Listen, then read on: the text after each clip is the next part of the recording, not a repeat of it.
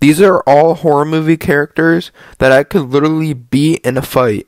So like number one is fucking Samara from the Ring. You know her. I could easily beat her in a fight.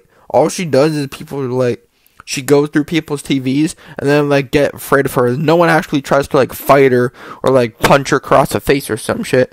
So what I could do, she's crawling out of the TV. I walk up, I walk up to her. It's fucking like uppercut her or like just smash her across her jaw or like just punch her in the fucking face. Because like what is she gonna do?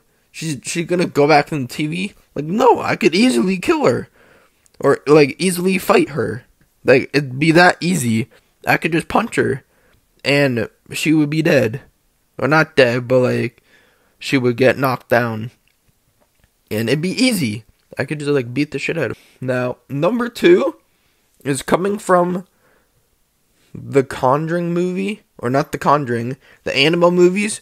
Annabelle, I could fucking beat the shit out of her. She is literally a doll. Like, what? She's a doll that like throws people around and shit, knocks people down. Like I could easily just like take her, smash her off against the floor.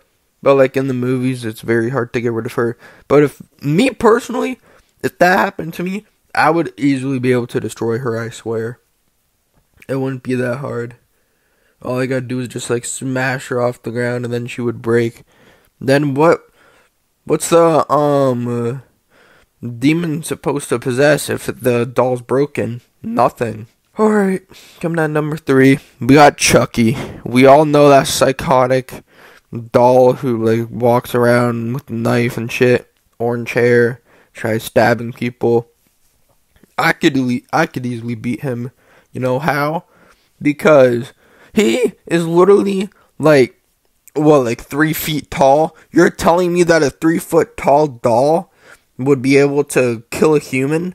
No, a human could literally like if if he's trying to kill me or if he wants to fight me, I could literally like just kick him. Like I could kick him in his fucking head, knock him flying, and then where would he be? Like on the ground somewhere. I could kick him like a soccer ball. Like that's how that's how easy it would be. Like I swear that would like that would go flying. I swear. If I kick Chucky, he's going flying. Like actually. I swear. Alright. Number three?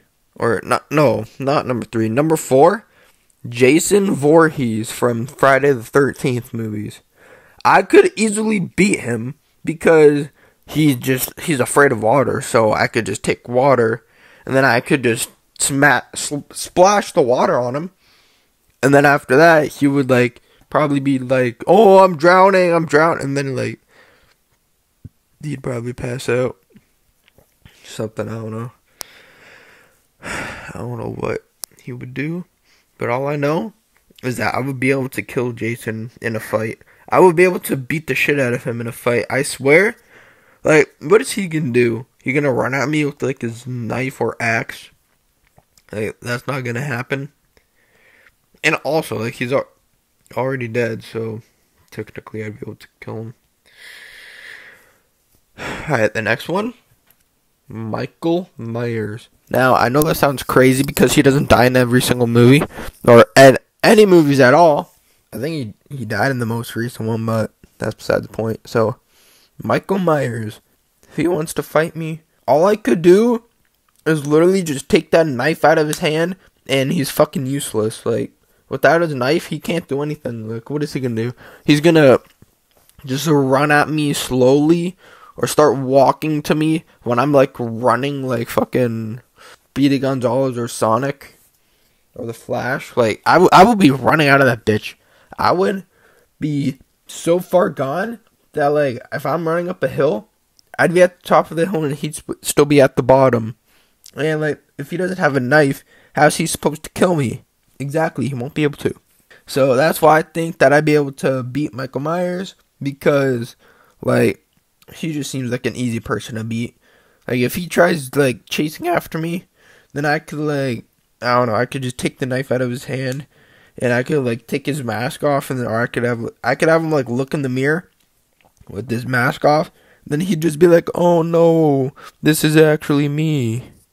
Anyways, yep, this is a video about the about the horror movie characters that I could beat in a fight. Anyways, yeah, peace out. They try to